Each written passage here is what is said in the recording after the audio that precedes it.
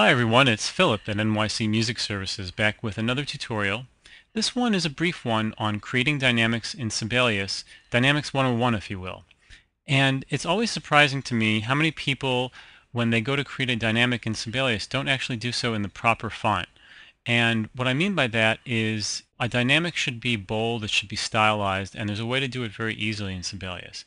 But what people often do is they might go, they might even go to text expression, or they might even know the shortcut Command E or Control E. But then I see people just typing, you know, FF fortissimo or Command E and then type P, and that gets you, gets you a very ordinary looking dynamic.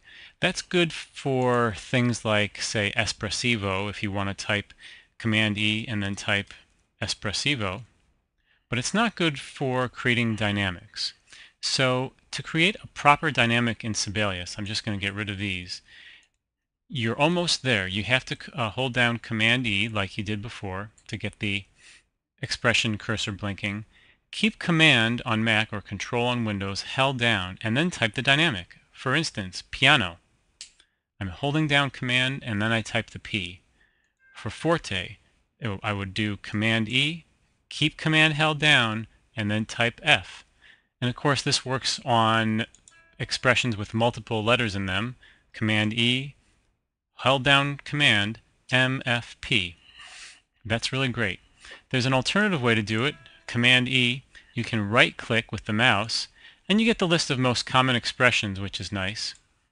But of course, uh, if you're, say, Tchaikovsky and three Fs isn't good enough for you, you need four or five or six, then you'll have to do it this way. Again, Command E, hold down command, and then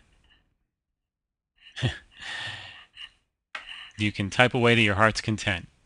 The only exception to this rule is the Z, which is reserved for the undo command. Uh, Control Z or Command Z is the shortcut for undo. So you're going to have to do Command Shift Z or Control Shift Z if you want a Z while you're doing this. So again, say I want this to be SFZ, I would do Command E, hold down Command, S, F, and then with Command still held down, then I type Shift, hold down Shift, and then Z. And then I can release Shift, and then with Command still held, held down, I could do a dynamic like SFZPP, for instance. This also works for uh, a dynamic followed by an expressive uh, marking. So for instance, if I want piano cantabile. I would do Command E, hold down Command, P, release Command, spacebar, and then I can type my expression. Now, don't forget that Sibelius will automatically align the expressions. You see this faded dashed horizontal line. Uh, so in the event that I do happen to change my tune. The magnetic layout automatically works to my advantage there. Also, if I want a hairpin, like a diminuendo or a crescendo, select the first note, type H for hairpin, spacebar to expand the hairpin, or shift spacebar to retract the hairpin. Likewise, a diminuendo, shift H